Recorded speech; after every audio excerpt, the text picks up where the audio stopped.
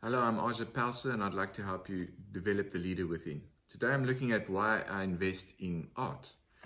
Art is a wonderful form of investment and we've learned from some syndicates in art how they buy very valuable paintings, keep them in vaults and then the syndicate grows the value of that painting and over time they take it to auction again, they sell it again and draw profits from that. That's one way that people do things. I also invest in artists that mean something to me, like mentors in my life. Um, the art behind me is solely by other people. Um, my my father is a missionary, so a lot of the artworks you see on the on the wall behind me are from his mission trips. He's been to over 120 nations, so there's a story behind every artwork, and we have a network of art patrons. And you can look at some of our things on pelsermedia.com where we've had recent uh, auctions of paintings and things like that as well. Those paintings grow in value because they're original artworks by someone with a story. I believe in art with a mission as well. So art must, must not just adorn the house, but it must also have a story behind it and a purpose behind it. So the artwork there in the center, if you can see the center one there, that's that's by Nico van Rensburg, which is a family member of ours, and his, his artworks have sold for tremendous amounts in the past. Um, he, he, worked in the, the University of Wits. It was as an art lecturer as well.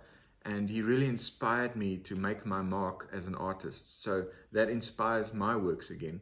That's why I invest in my mentor's works. We used to go to art lessons there. And the, the, the first time uh, my wife saw this painting of Nico's, she actually started crying in the gallery, which is kind of moving. And I, I looked at her, I said, well, now we've got to buy this painting. You know, it took me three months to pay the thing off. But it was worth it because of the, the value it had for my wife, number one.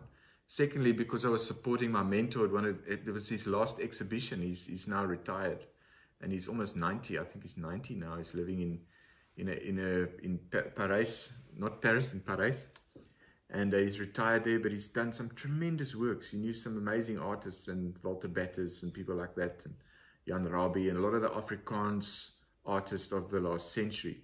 And and what happens is, if you, if, I've got two of his paintings. There's there's another one over there as well, and several of Andre's works.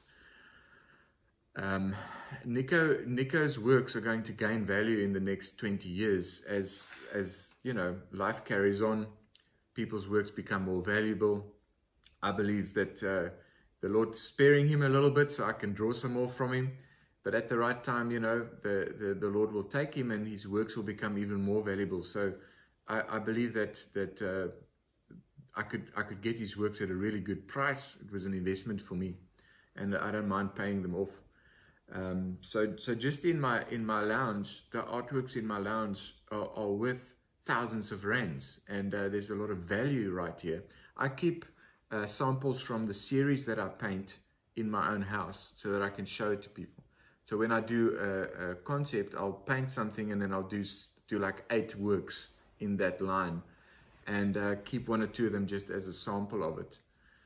Um, maybe we can have a look at some of them up close and you, I'll show you what I mean.